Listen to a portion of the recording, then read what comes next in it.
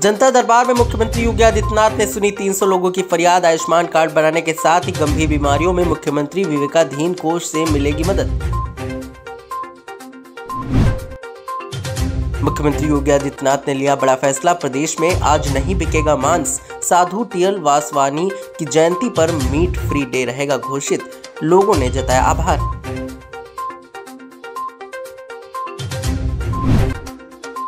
देव दीपावली पर 20 watch tower से चौरासी घाटों पर रखी जाएगी निगरानी। आसी देशाश्मयत समेत सात प्रमुख घाटों पर थल, जल नव से पुख्ता इंतज़ाम।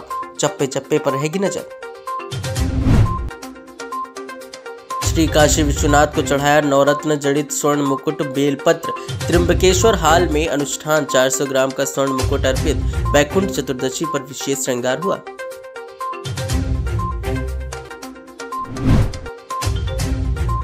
आज बिजनौर जाएँगे, अखिलेश यादव समाजवादी पार्टी की सामाजिक न्याय यात्रा के समापन पर जनसभा को करेंगे संबोधित।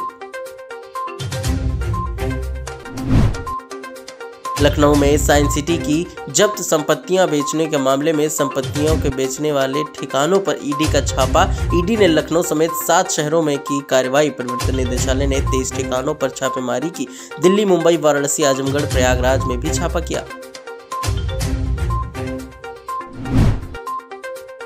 आरएसएस प्रमुख मोहन भागवत मथुरा में एशिया के सबसे बड़े गौ विज्ञान अनुसंधान एवं प्रशिक्षण केंद्र का करेंगे लोकार्पण। पचास हज़ार से ज़्यादा स्वयं सेवक और कार्यकर्ता रहेंगे मौजूद। प्रयागराज में बीएसए से खपत 103 शिक्षकों ने दिया सामूहिक इस्तीफा। दायित्वों से इस्तीफा देने वालों में तीन एसआरजी 100 एआरपी हैं शामिल। बीएसए पर वेतन वृद्धि रोकने, रिकवरी कराने की धमकी देने और बैठकों में बीएसए पर अपशब्दों का प्रयोग करने का लगा आरोप।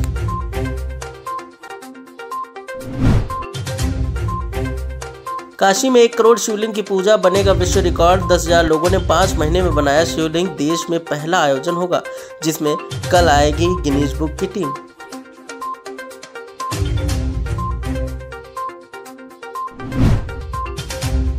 यूपी में तीन दिन बाद कड़ाके की ठंड। 42 जिलों में पारा 13 डिग्री सेल्सियस से हुआ कम। कल से बारिश का अनुमान। मेरठ, गाजियाबाद की हवा हुई जहरीली।